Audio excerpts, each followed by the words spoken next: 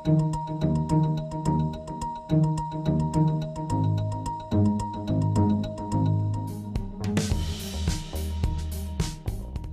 رمضانكم ومرحبا بكم في صحة ماج رانا نرافقكم كل يوم مواضيع على الصيام الصحة والتغذية إذا تابعتوا الحلقة تاع اليوم راكم رايحين تعرفوا وشنو هي الاختلافات اللي كاينة في الصيام بين المرأة الحامل ولا اللي ترضع وبين بقية الناس.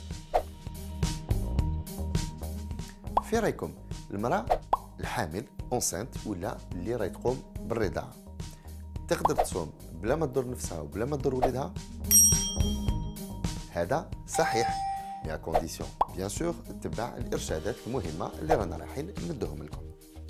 donc madame ولا كنتي حامل فطورك لازم يكون فيه الخضره الحبوب واللحوم.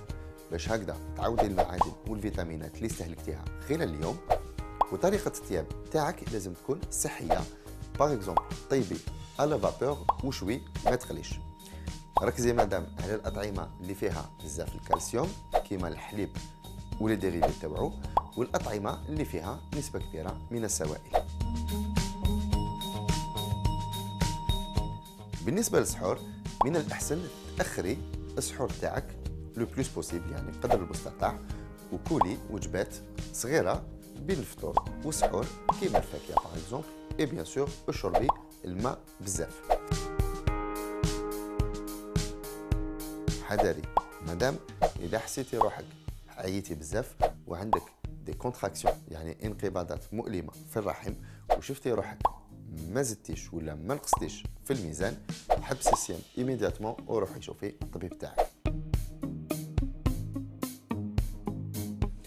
إن شاء الله نكونوا فدناكم تقدروا تعاودوا تشوفوا صحة ماك sur internet فيسبوك ولا يوتيوب. ما بقى لي غير نقول لكم تهلاو في صحتكم بقى على خير.